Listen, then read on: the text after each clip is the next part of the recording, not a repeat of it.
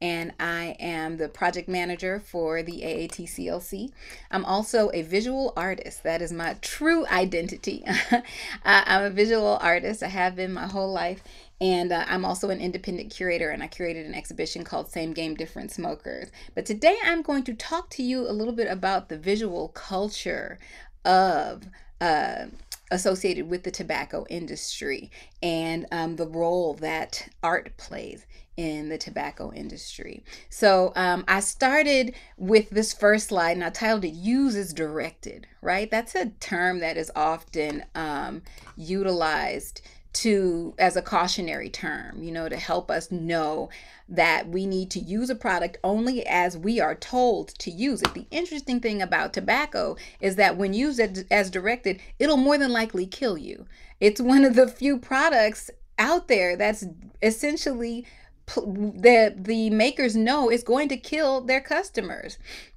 Most nicotine products do not come with instructions. Most nicotine products used in uh, advertising and print and films have been key training tools for the tobacco industry, right? So, historical evidence says that the tobacco industry files uh, discovered as a result of um, various lawsuits trace how the tobacco industry collaborated over time with the US film industry and the print industry to push smoking and promote brands. So you don't see t- most tobacco products, you don't see place cigarette in mouth, light end of cigarette. You know, they teach you how to smoke and how to use their products by um, promoting the ideas of not only how to utilize them, but how to relate to them. So imagery in the tobacco industry um, or pushed by the tobacco industry is laden with propaganda that sparks mental associations between tobacco products and health, glamour, prosperity, and just us living our best lives. But also, also very importantly with white supremacy, white benevolence, and revisionist history about the pleasantries of slavery, because those did not exist. so all these things are counter to the stark data that is reported and uh, I'm sorry, it's stark data and and actual reality. So it said that cigarettes are amongst the most marketed products in the history of marketing. And of course, we see these massive rates of death from this deadly product, this poisonous product that is marketed um, and may and makes uh, has been marketed for uh, more than a century to make people believe that they um, are not half as deadly as they truly are. Now, people have known for a long time that smoking is a health hazard, and people have spoken out against it. Now, I have zero good things to say about King James of England. Let's just be very clear. But what he did do is he wrote um, a document called A Counterblast to Tobacco in 1640, and he called in it he called tobacco a loathsome, uh, a custom, or smoking, excuse me, a custom loathsome to the eye, hateful to the nose harmful to the brain and dangerous to the lungs. So these people knew that uh, smoking and tobacco was bad. Folks have been speaking out against it for a long, long time. Um, they're also created uh, products to help people stop smoking. This is an ad from the 1900s for no to no tobacco to uh, help people stop uh, utilizing tobacco products. Now, I want to insert something very important here because when we talk about tobacco industry advertising, um, and targeting the black community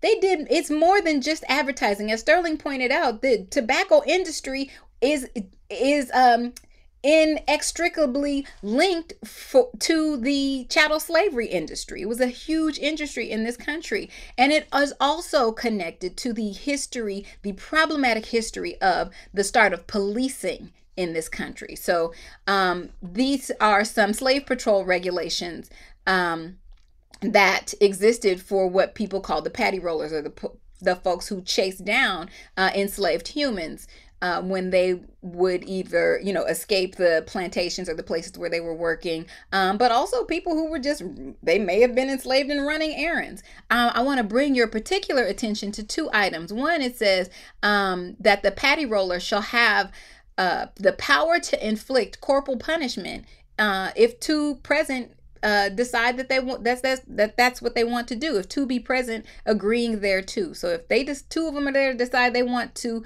brutalize a, a black person, they were well in their rights to do that. And also, one patroller shall have power to seize any Negro slave who behaves insolently, who behaves insolently um, to a patroller or otherwise unlawfully or suspiciously, and hold such slave in custody until he can bring together a requisite number of patrollers to act in the business. That's all barbecue Becky right there. The calling the police on black people for the it's all connected to that same history of white white people policing the black body and black people and modern policing um supporting that. And I'm not talking about all white humans. I'm talking about folks who have white supremacy so ingrained in their psyche that they can't function. Um, and many of them are police officers. Um, not all police officers, but many of them are. So we have to, we can't pretend like those origins don't exist when in in the early ads um, black people in early ads in general but especially in tobacco ads black people were portrayed as lazy and irresponsible childish and ignorant. Um, africans the, from the continent were portrayed as savages as well as uh, a threat. Um, they these ads mutilated our features and exaggerated our facial features and they also mocked our vernacular as you see here where this quote says my it sure and tasting. We don't talk like that. It's a you know this is a misrepresentation of black vernacular which is actually um something that people try to mimic all the time. Anytime somebody wants to sound cool, they want they do whatever they can to mimic us.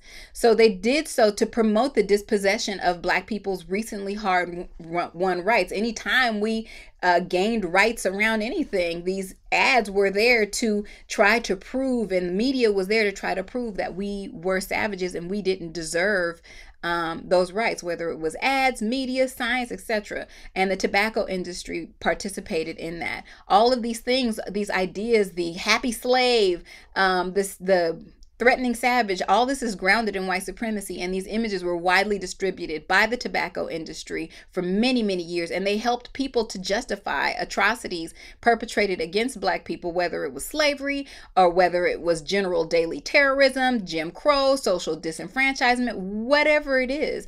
Um, you know they because we were promoted to be uh, savages um, the it was easy to justify um, terrible behavior towards us. Now, um, there were a number of products that had terrible names, like nigger hair. Um, this was a real product, nigger hair tobacco, coonskin cigars, and also there was a whole series of collector cards that talked about the savage savage chiefs and rulers. Um, and they listed all these different chiefs and all these different um, community, spiritual, religious rulers from cultures all over the planet and portrayed um, portrayed them as as savages and people read about them and it was an adventure for them right?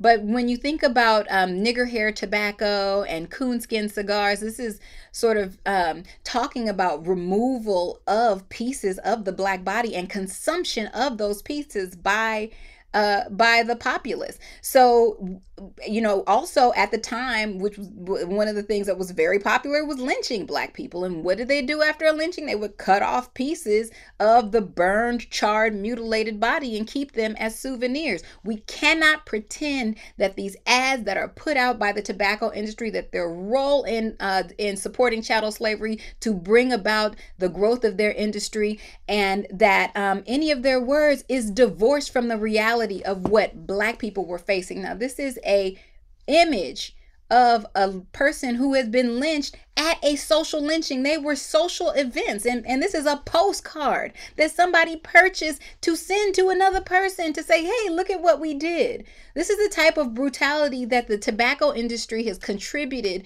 towards um, happening towards black people um, for for many years. It's problematic, it's real, and it needs to be called out. So people who say the tobacco industry has been targeting the black community for the past 50 years, that's incorrect. They have been targeting us for hundreds of years, literally hundreds.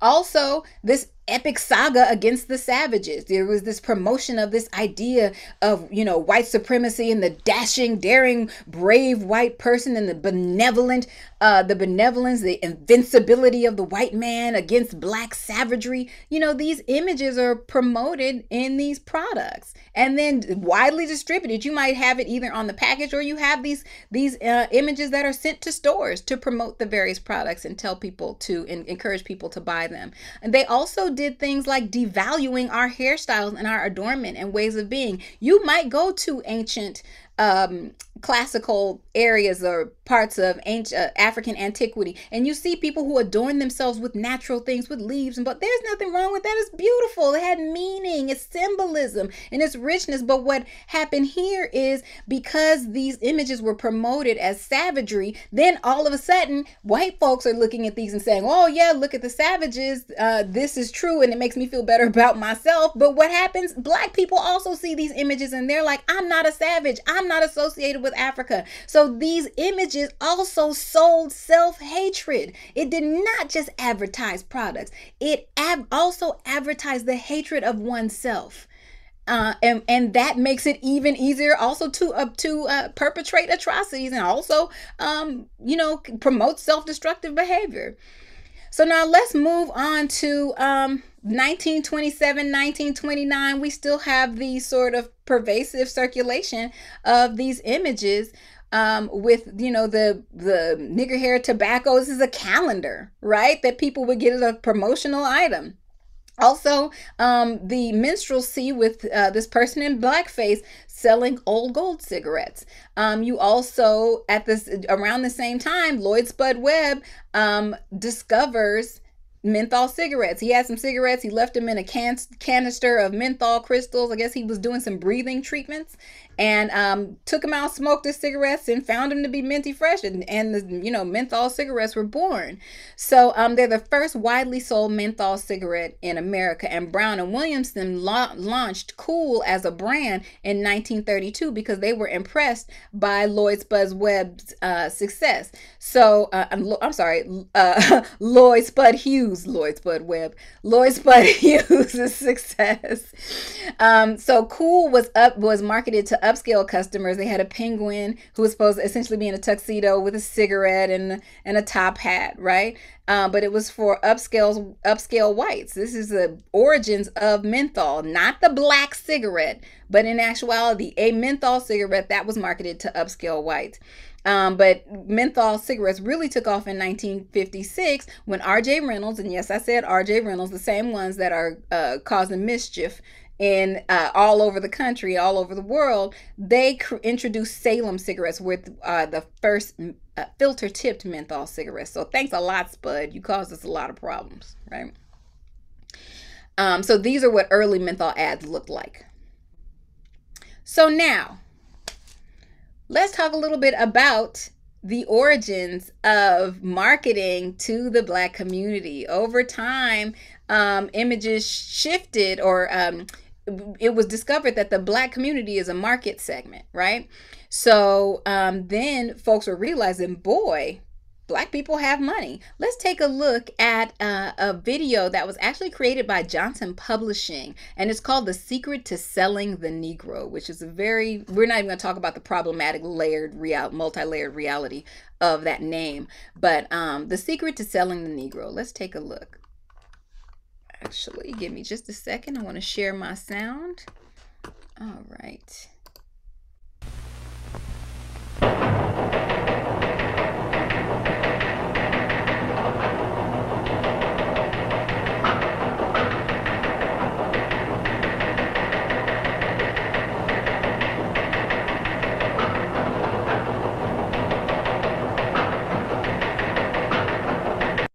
Right? So that very dramatic opening is where they get this this thing. I guess is the world's first email. Can you imagine if every time you got an email it did that? We'd all be nerve wracked and oh my goodness. Anyway, it said the average wage, Negro wage earner today gets four times more money than uh, than a few years ago, um, according to the Secretary of Commerce of the U.S. So the income, you know, the the Negroes' income increased more rapidly than the income of all other Americans. So all of a sudden, the tobacco industry was like, wait a minute now.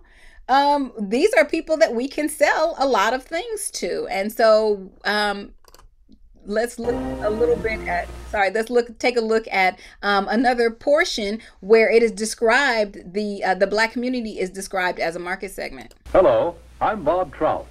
I've got a story here that i think is big really big because it's bound to have a terrific impact on business. I'm talking about a new market a big new market millions upon millions of new prospects with 15 billion dollars to spend that's right, I said 15 billion. That's a lot of money, isn't it? The surprising thing is that it's a fresh market, still full of opportunities. It grew up so fast, got so big in a hurry, that few of us realize its scope. Now, these days, nobody's likely to pass up chances to sell. And yet right here in our own front yard, there's a neglected market. There's money waiting to be spent. To get the story of this market, to be able to tell you the secret of selling the Negro, we did a lot of digging.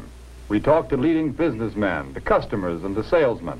We went to Washington, D.C. We set up cameras and other key points around the nation. And out of this all, there emerged a story, the story of a new market. So the important thing to note is that folks were very well aware of how much money was available sorry, in the black community. Hello, I'm Bob Trout uh-oh, uh, how much money was available in the black community. Um, so now you see a shift to very positive imagery. You see imagery that uses prominent figures, um, whether it they're famous people or someone who's a chief of police. You know, you might not know this guy, but you just see that he's a person of authority. And uh, instead of the coon type image, you see um, you see these advertisements that say things like the man who thinks for himself. So now you have the people who are starving for positive imagery of themselves. Um, absolutely inhaling these images. They're beautiful images and they say positive things about black people. You just weren't seeing that. The challenge is that the um, the images are wrapped in um, these these tor- terrible products or these terrible products, these poisonous, deadly products are being wrapped in these images so that your mind associates um, one with the other.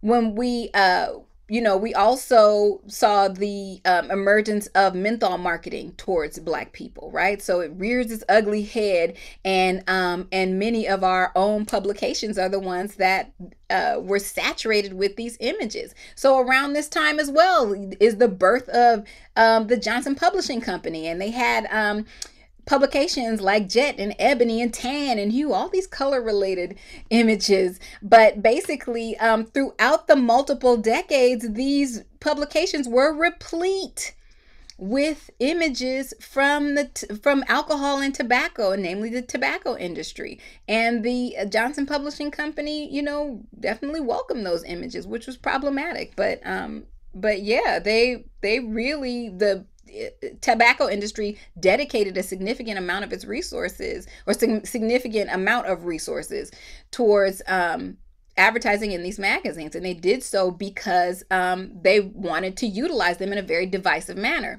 So you think about we have to think about what jet and ebony etc etc um, uh, meant to the community. They were trusted sources of information. You showed very opulent styles of beauty queens, etc., etc. So we fantasized about living rooms that looks looks a lot like the one you see here. But in actuality, this is typically what, what the living rooms in my life looked like. Just add some uh, some super thick plastic on the couch.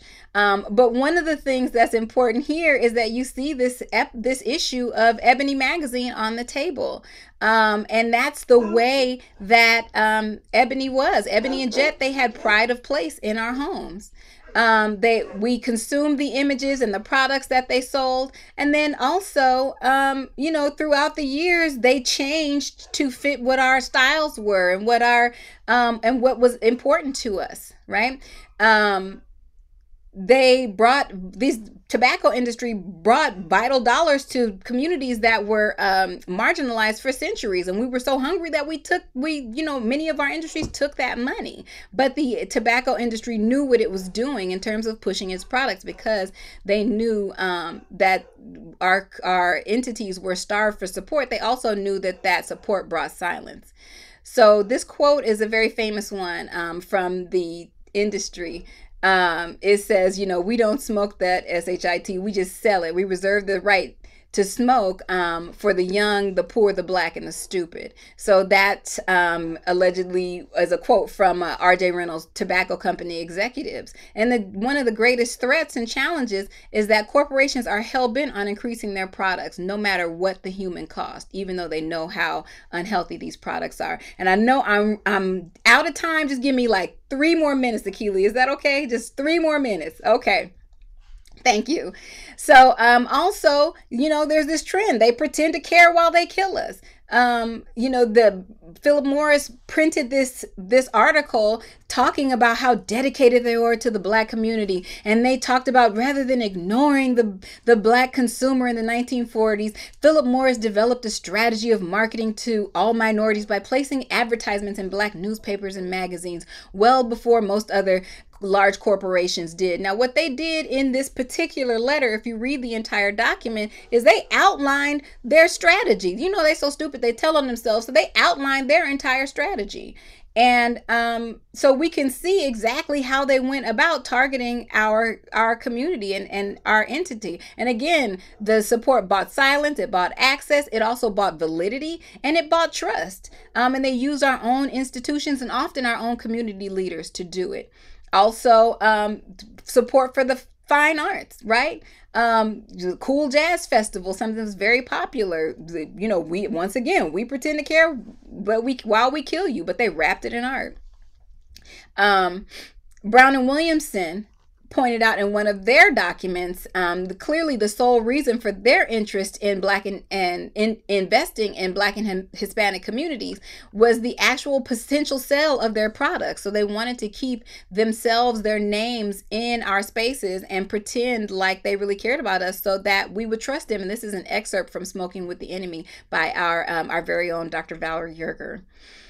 Um, so essentially the conclusion you know we can conclude that um, the point of their participation is to say so that they can pretend to have a good record of contributing to and supporting the black community we see that over time the coon image endures and this is 1970 the man's wearing a dashiki but he's doing the popeyes in the in the you know uh, pushed out mouth um, saying it gives me a tingle in a very um, in a very caricaturized way.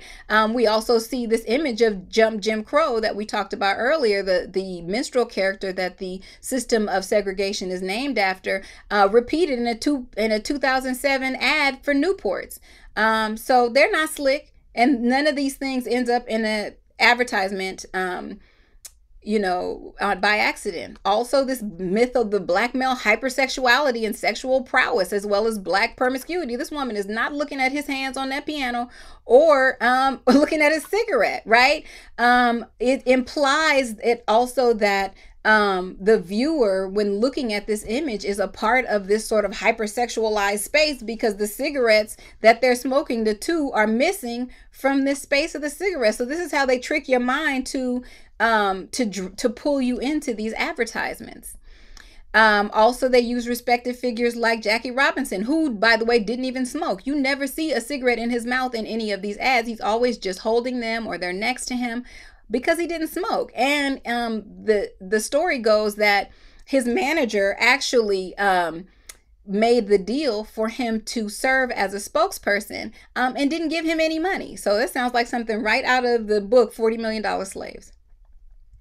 Um, now this also this appropriation of cool. It's something that they used to do and it's something that they still do. This is a camel cigarette and this is a uh, electronic cigarette.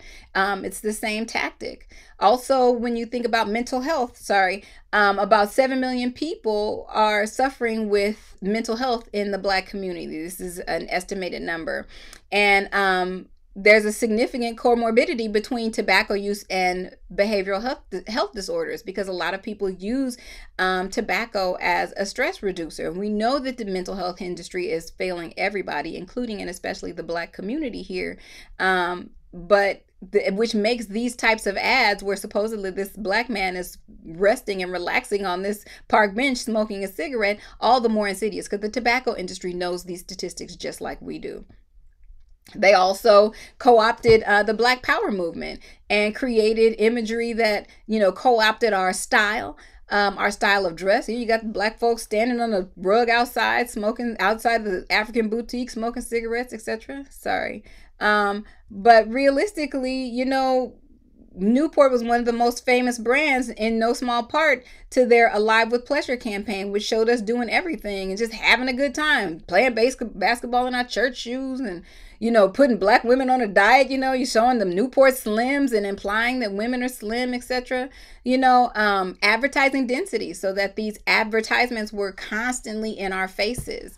Um, and so that we can never get away from them. And there's always a suggestion of utilizing and accessing these items. And we did not take this sitting down. So, um, there were artists, uh, artivists like Henry Mandrake Brown who painted over these advertisements because he's he recognized that alcohol and tobacco advertisements were um, part of the problem, a major part of the problem, and he also came up dead. You know, so this is real. Um, this is these are real issues, and this is a real powerful uh, industry that we're dealing with. But he painted over these um, over these advertisements and got rid of more than 700 billboards in the hood in Chicago, as well as uh, uh, Reverend Calvin Butts. So um, it was tobacco control activists who brought down Uptown cigarettes, which were created specifically to be marketed to Black people. And um, and those were gotten rid of very quickly and kicked off the market but because people were not having it. Also um, artist hank willis thomas created the uh, fair warning series where he removed um, the images from tobacco as the backgrounds as well as the cigarettes. And um, to explore what we're actually being sold and told. So you have all these beautiful women in their, you know, two fingers placed in the air in a gesture that almost becomes this hand sim- signal um, based on our subconscious reckoning or reasoning, hand symbol for Black women's liberation.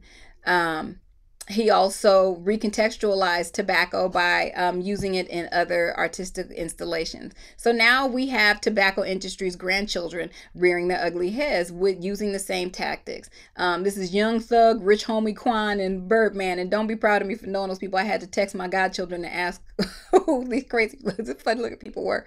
But um, you know they're using the same tactics to um, these flavors bright colors the promotions by people that folks trust particularly young people even like up uh, promoting things like snus um, in our communities and you and utilizing these ideas that just like in the tobacco ads in the cigarette ads in the cigarillo ads you're having a great time with your friends and smoking.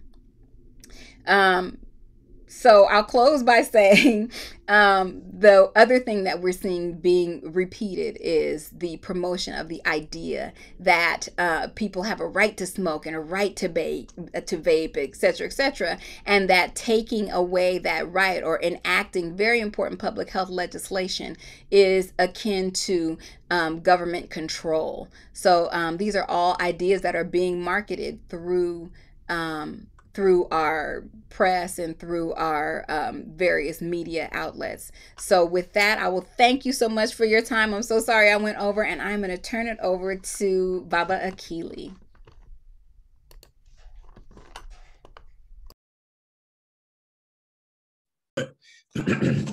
I appreciate that. Listen, the time that